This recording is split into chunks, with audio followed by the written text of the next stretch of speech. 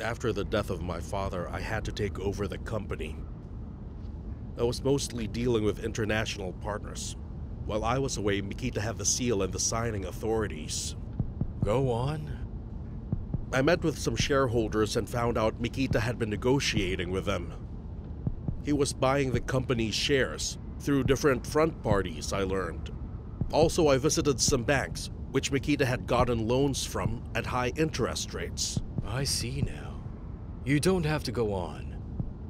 I know the game plan through and through, and Miketa's goal is obvious. We know that. Taking the company from you and your family. I hope that you didn't spook him. It might have scared him. He could try to run. No, the shareholders won't say anything. Miketa doesn't even know I'm in Kiev. Mm, he must think he's created enough problems for me in Cherkasy to keep me busy for a while. All right. Then Miketa is going to prison.